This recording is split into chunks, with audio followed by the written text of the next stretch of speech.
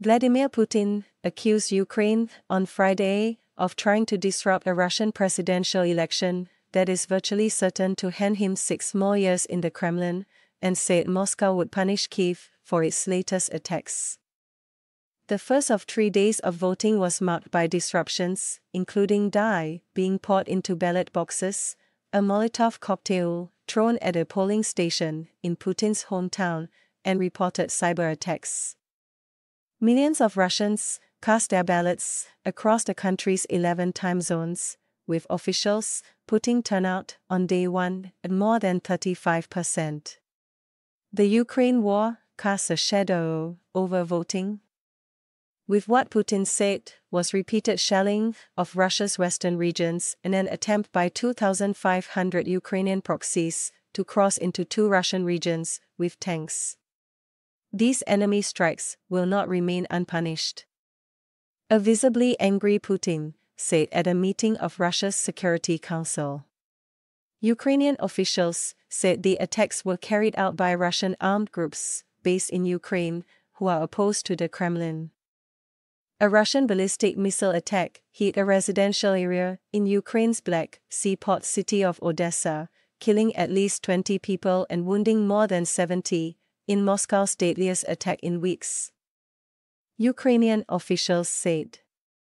President Volodymyr Zelensky said Russia would receive a fair response for what he said was a vile strike.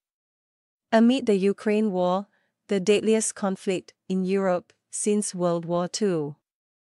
Putin, 71, dominates Russia's political landscape. None of the other three candidates on the ballot paper presents any credible challenge. More than 114 million Russians are eligible to vote. Including in what Moscow calls its new territories for regions of Ukraine that its forces only partly control, but which it has claimed as part of Russia. Ukraine says the staging of elections there is illegal and void.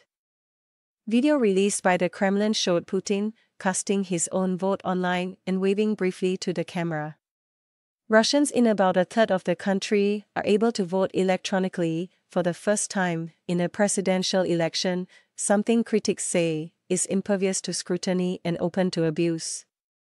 These are the most closed, most secret elections in Russian history, Stanislav Andreychuk, co-chairman of the Golos vote monitoring group that the state has branded a foreign agent told Reuters in a telephone interview. Dye was poured into ballot boxes in Moscow, Russian annexed Crimea, and the Caucasus region of Karachay-Cherkessia, according to Russian media. In apparent anti-Kremlin protests. CCTV footage of one dye pouring incident showed a young woman depositing her voting slip before calmly pouring a green liquid into the ballot box. A policeman was seen detaining her immediately afterwards. A Molotov cocktail was thrown at a polling station in St. Petersburg, and a 21 year old woman arrested, the Fontanka news site reported. Arson attempts were recorded at polling stations in Moscow and Siberia. Russia's Electoral Commission chief, Ella Pamfilova, said perpetrators of such acts faced up to five years in prison and suggested they had been paid for by those seeking to disrupt the vote. Listen carefully, everyone, Pamfilova said, before setting out the article in the criminal code that addresses disrupting the work of electoral commissions. The Kremlin says Putin, in power as president or prime minister since the last day of 1999, will win as he commands broad support for rescuing Russia from post Soviet chaos and standing up to what it calls an arrogant, hostile West. Putin ordered a full scale invasion of Ukraine in February 2022 after eight years of conflict in eastern Ukraine between Kiev's forces on one side and pro Russian Ukrainians and Russian proxies on the other. If Putin completes a new six year term, he will overtake Soviet dictator Joseph Stalin to become Russia's longest serving ruler since Empress Catherine the Great in the 18th century. The West views Putin as an autocrat and a war criminal. US President Joe Biden has called him a killer and a crazy SOB. But in Russia, the war has helped Putin tighten his grip on power and boost his popularity with Russians. According to polls and interviews with senior Russian sources. Russia's best known opposition politician, Alexei Navalny, died suddenly in an Arctic penal colony last month, and other Kremlin critics are exiled or in jail.